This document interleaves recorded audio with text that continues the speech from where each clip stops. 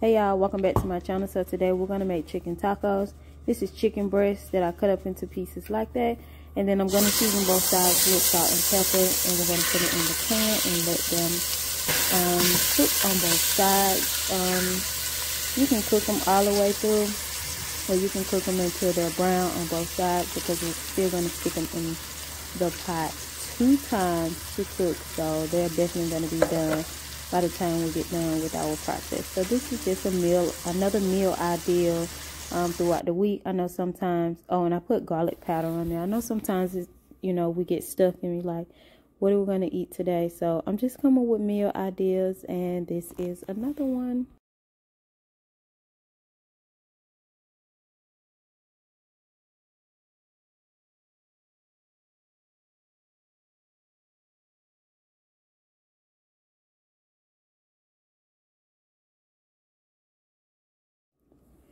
Okay, and now that the chicken is done on both sides, um, we're going to take them out of the pot as I'm doing here.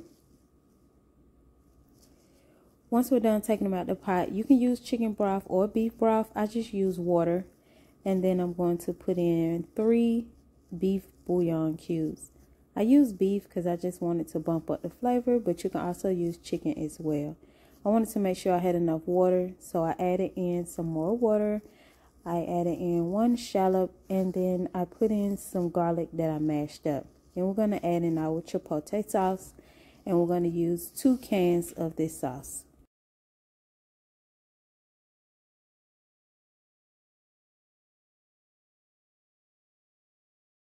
Okay, right after that, I went in with some garlic powder. We want to make sure I don't miss any seasoning here. And then we went in with some onion powder as well. Then I'm going to go in with some ground cumin. Just give it that real taco flavor, you know. Then we're going to go in with some sea salt. I prefer sea salt, but you can use whatever kind of salt and just take it easy on the salt. And then we're going to go in with some pepper as well. Okay, then we're going to use some oregano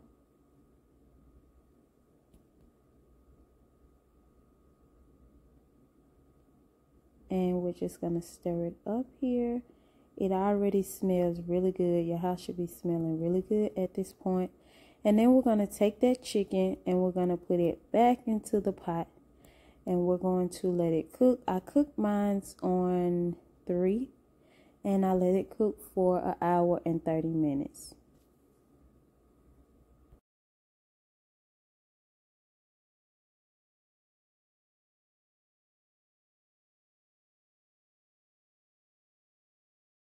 All right, we're moving along pretty fast here, right? So we're going to take that chicken out of the pot, shred up all of your chicken, and get ready for the next step.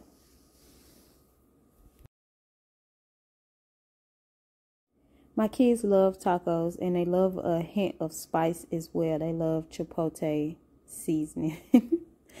okay, so I took out all of my vegetables and some of the juice, but not all of the juice put it into a blender, and it was just going to blend it up really, really well here. So um, everything can blend up properly. And then we're going to take our mixture, pour it back into the pot with just a little water, um, just a little mix left that you've seen at the bottom of the pot. You know, you want to go ahead and mix it in. And then we're going to come through with a lime. Gotta have that lime when you're eating those tacos, right? all right as you can see we're going to put the chicken back in and then I just let the chicken cook down on low for at least about 15 to 20 more minutes while I assemble my tacos. So I have the small taco wraps. Um, I dip them into that sauce that we have into the pot and put them into a pan with butter at the bottom. My household like cheddar cheese. They don't really like mozzarella cheese um, so I always have to use the cheddar cheese blend with mozzarella as well. You're going to put that chicken on there. You're going to fold it over. So I'm just going to do a couple like this and, you know, just let them cook. Um, I didn't put the pan on high. You want to leave the pan on low so they don't burn. Well, not on low, probably about three. You don't want them to burn really quick because they will burn really quick.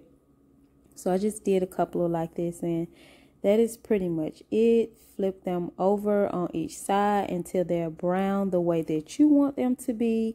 And then just serve those bad babies up. So we ended up um, eating ours with yellow rice, pinto beans, and I put it over a salad, sour cream, cilantro, and lime. It was a banger. Thank you for watching.